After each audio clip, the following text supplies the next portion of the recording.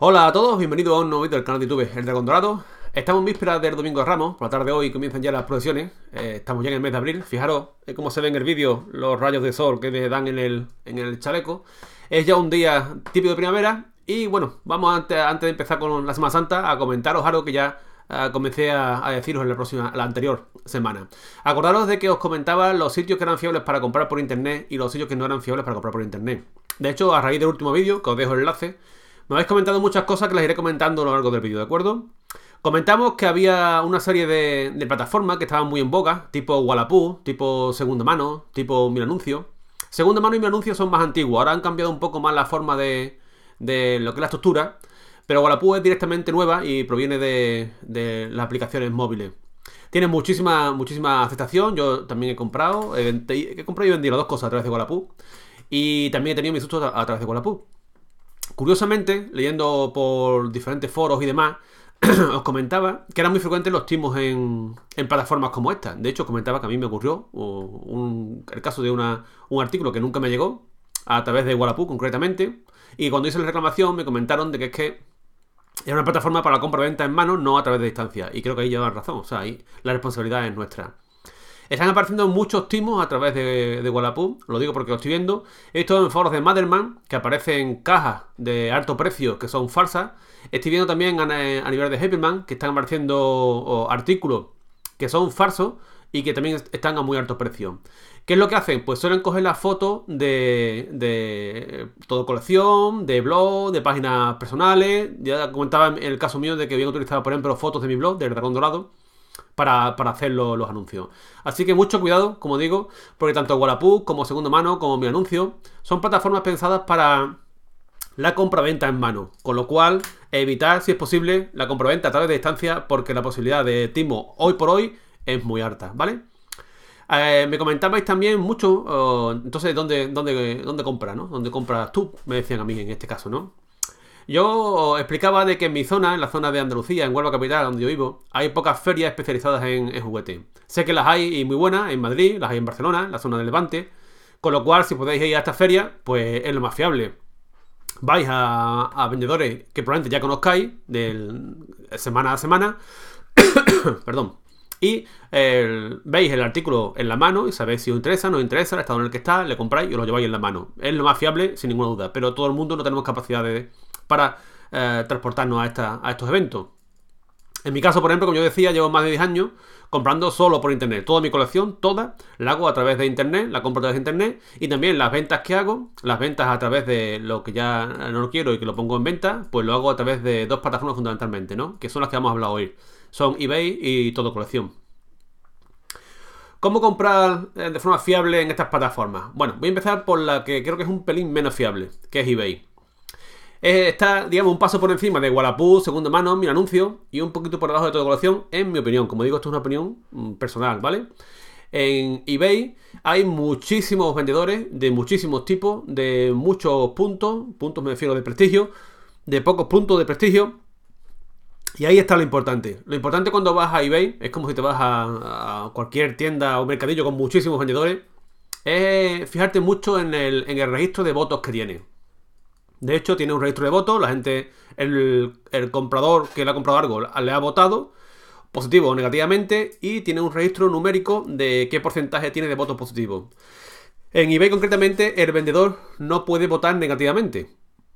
Eso es bueno para el comprador, pero malo para el vendedor. Porque como vendedor también te encuentras a veces con compradores que no son para nada fiables, que te la juegan y no le puedes votar negativamente. Pero digamos que eBay eh, barre más para el comprador y además lo entiendo el, cuando ves el, nombre de un usuario y ves el porcentaje de, fiabilidad que tiene, pues eso lo que te va a dar es eh, hasta qué punto esa persona es fiable o no es fiable. Verás los comentarios que tiene y eh, digamos que el 100% de votos positivos es que tiene todos los votos uh, netamente positivos. Tenéis que saber que eBay lo que mide es un año. Al año se va desplazando el porcentaje y de hecho va variando según el año anterior a la fecha en la que estás mirando. Eh, un porcentaje por debajo del 100% eh, sería fiable. Bueno, tengo que decir que mantener un porcentaje al 100% es muy difícil. Yo ahora mismo lo tengo, por ejemplo, en eBay. pero también es verdad de que me he, topado con algunos, compradores que van a fastidiar netamente que no compran, que te buscan las casquillas y que lo que quieren directamente es, hacerte la faena. Con lo cual, es la minoría, evidentemente, la mayor parte de personas son personas honradas y que, bueno, y que te puntúan según lo que tú recibes, pero hay gente que te hace la faena. Con lo cual, incluso en un historial en el que tú veas uno o dos votos positivos, bueno, realmente tendrías que leer qué es lo que es, que otra cosa es que no me haya llegado el artículo, que esté en malas condiciones, es diferente. A veces los comentarios te das cuenta de que son, están hechos a mala leche. Como norma general, os diría de que un porcentaje al 100% es lo ideal. Cuando son ventas muy altas, eh, tienes muchas ventas, es muy complicado tener un 100%. Pero digamos que como norma general, que no baje del 95%. ¿Vale? Cualquier vendedor que baje su fidelidad por debajo de un 95%, yo de entrada eh, desconfiaría. Entre un 95% y un 100% está un margen de seguridad bastante alto. Ahí se incluyen también algún comprador que por mala leche quiera hacerte la faena y te, y tenga un, voto, un voto negativo. Os comento, por ejemplo, un caso que tuve yo, como vendedor en este caso, en el que hice una venta más de un videojuego, que fueron, fueron 6 euros, me parece a mí, además, con un gasto de envío gratis, que era una porquería. Y se lo envié tres días después de, la venta. y me, manda un correo muy indignado. Era un niñato, pues se, veía la forma de expresarse, la forma de, de, cómo, escribía, que era un auténtico niñato, y que lo que estaba en plan chulo. Eh, y un poco más me decía de que, yo tenía que haber mandado el artículo al día siguiente después de haber hecho la compra. Digo, bueno, vamos a ver. En las condiciones del anuncio, tú te lo lees y de hecho te lo piden y yo lo tengo escrito que tú mandas el artículo entre 3 a 5 días laborables. De hecho, tú eliges la opción que quieres. Yo tengo elegida como vendedor, la que puedo realmente, que es entre 3 y 5 días laborables. Y a ninguna parte pone que tenga que hacer a partir del día siguiente. Y con esta persona, por ejemplo, se puso en un plan muy chulo, en un plan ya amenazante y en plan insultante y ya pues nada, lo tuve que mandar, a tomar por culo, porque es que no, había otra. El, toda la gente intenta tratarla con respeto, pero si te pierden el respeto, pues ya llega un momento en que ya te harta. Y este fue, fue, por ejemplo, el único voto eh, negativo que tuve durante un año completo. Iba, te baja el. Te baja el porcentaje, me bajó del 100% al 99,2% o algo por el estilo.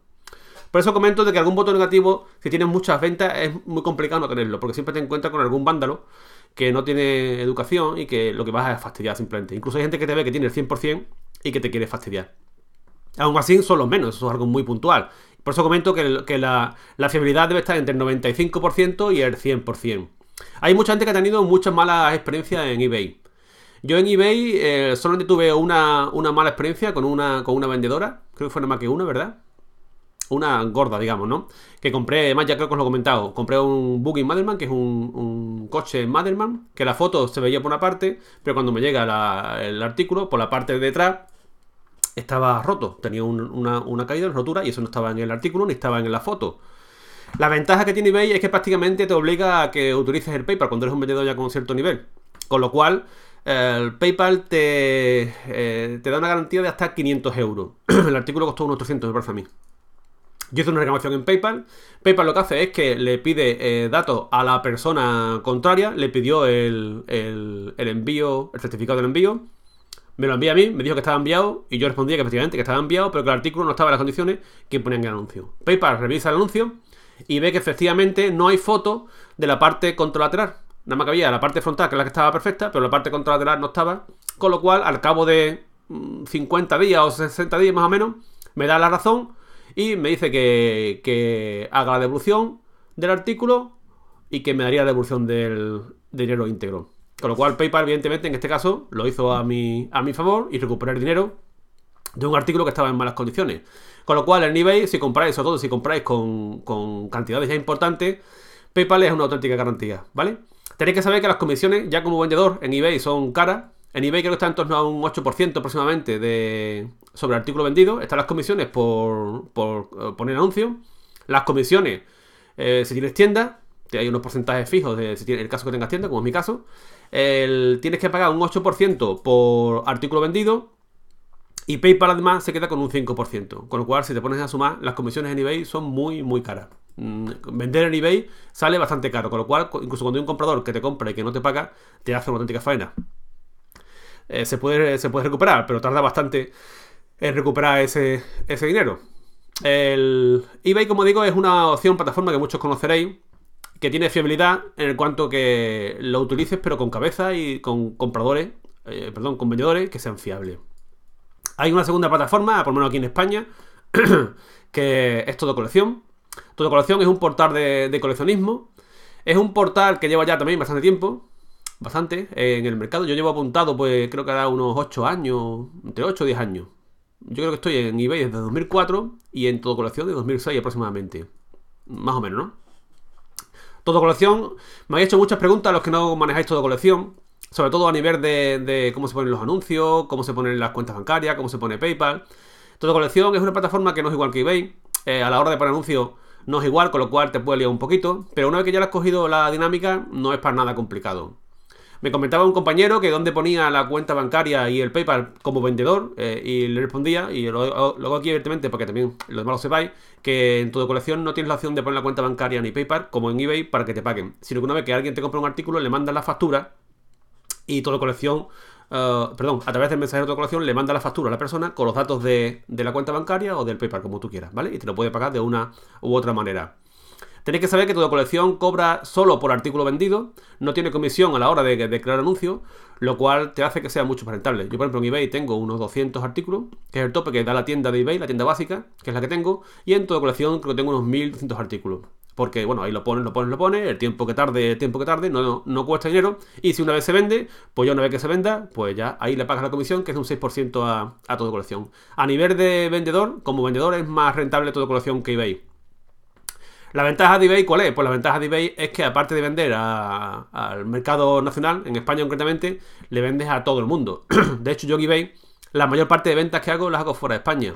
Las hago desde Venezuela, México, Estados Unidos, a Reino Unido, a Francia, hasta Australia. Que de hecho Australia tengo muchos problemas muchas veces, pero los gastos de envío a Australia son terroríficos y la gente no los acepta, pero bueno, es que son los gastos de envío a Australia. Es que están las antípodas, están en la, otra parte.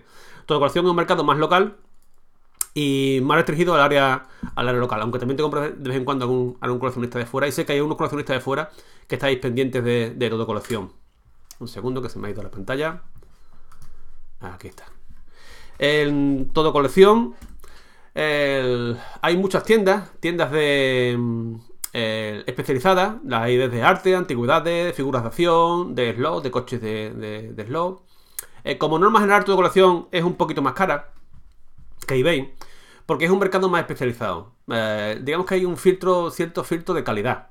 En cuanto a que la gente que vende, hombre, como siempre hay honrosas sesiones, ¿no? Pero como norma general, suelen ser eh, un poquito más, más restringido a la hora de, aceptar vendedores que, en eBay.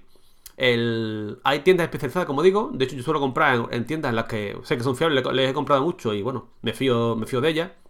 Y también, igual que en eBay, tienes una, una baremación en cuanto a valoraciones. Tú te vas a los votos y ves si la persona que está vendiéndote si es fiable o no es fiable. Os voy a contar, por ejemplo, el caso que tuve yo en toda colección, como comprador y como vendedor, con la misma persona.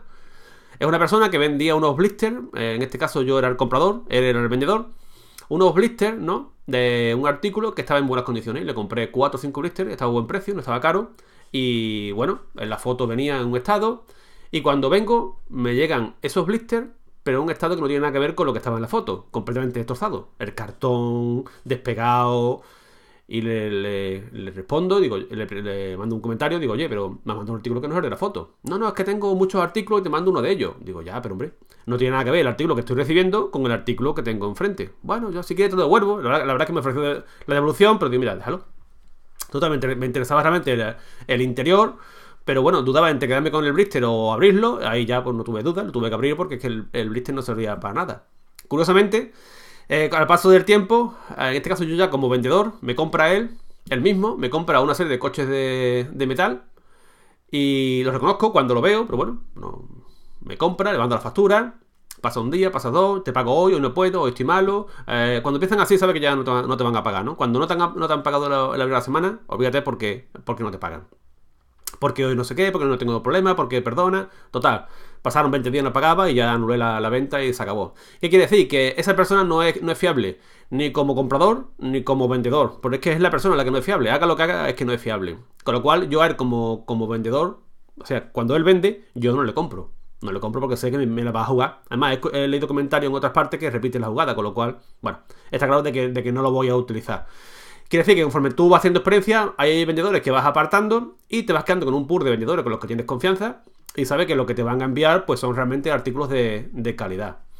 En tu colección hay, igual que en eBay, hay variedad de opiniones. Yo creo que todo colección es probablemente uno de los portales más fiables a la hora de vender, es uno de los portales más fiables a la hora de, comprar. Un paso probablemente por delante de, eBay y muchos pasos por delante de Wallapop, segundo mano, mi anuncio y, y demás. Sí que es verdad que tengo una crítica sobre todo colección que es importante y es que como vendedor, ahora mismo como vendedor, yo vendedor, me estoy encontrando con muchísimos artículos que no se pagan. Muchísimos. Y son sobre todo eh, nuevos vendedores, eh, perdón, nuevos compradores. Gente que entra en tu colección, abren la cuenta, no tienen ningún voto, te compran el artículo y ni se acuerdan. Ni se acuerdan. Y de hecho, en tu colección hay artículos que son bastante caros. De hecho, recuerdo que, que vendí un artículo de una colección de cromo que era muy, muy importante. Lo vendí a un precio que fue bastante considerable. Y en una subasta que la compró, pues un gilipollas que no pagó. Claro, al, hacer una subasta, si el primero, que es un gilipollas, no te lo paga, el segundo, que es una, persona que le interesa y no, y no lo gana, pues ya entonces te quita un buen cliente, tanto a la persona le quita el artículo como a ti te quita un buen cliente.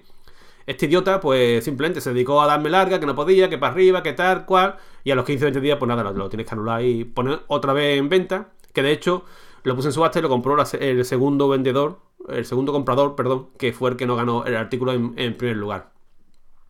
Como todo, en tanto nivel como acción, hay compradores que no son fiables y hay vendedores que no son fiables. Con lo cual es muy importante eh, restringirte a lo que es el sistema de, votación. Mira el porcentaje que tiene de votaciones, el tiempo que lleva en venta. Una persona que lleva muchos años en una plataforma que vende y que el, el porcentaje de voto es alto o muy alto, aunque tenga alguno negativo, como digo, es muy raro que no tenga alguno negativo eh, lo que te dice es que la persona es muy fiable. Aparte que ya llega un momento en que en este mundo todos nos conocemos. Nos conocemos como compradores y nos conocemos como vendedores. Con lo cual aparta a aquel que no te es fiable y te quedas con la persona que realmente crees que te puede ser fiable. ¿De acuerdo?